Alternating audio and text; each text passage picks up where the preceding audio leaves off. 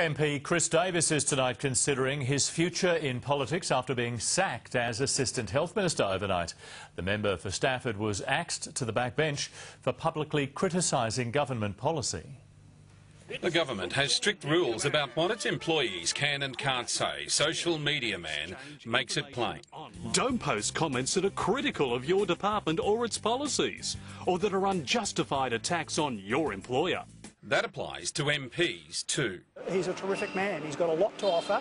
It's just that um, there are certain rules, and we all have to play by the rules. Chris Davis was shown the door late yesterday after siding with doctors in the hospital dispute and criticising changes to the CMC.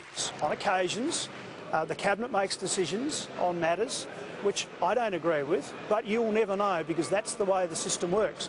The Premier says he's done him a favour. See, Dr Davis, as a backbencher in the LNP, actually is liberated. I would have wished to have been liberated without this change. Dr Davis is considering his next move. His demotion has cost him about $80,000, but a split from the LNP seems unlikely. Labor says the Premier overreacted.